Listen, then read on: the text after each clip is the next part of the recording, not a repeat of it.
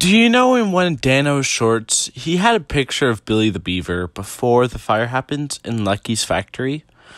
But this only means that we see the beginning and end, but not the middle. Now, I believe that's where Ma- Ricky makes his mistake. And I mean, duh. I'm like, uh, he said it was an accident the first time, but yeah. So, uh, yeah, bye.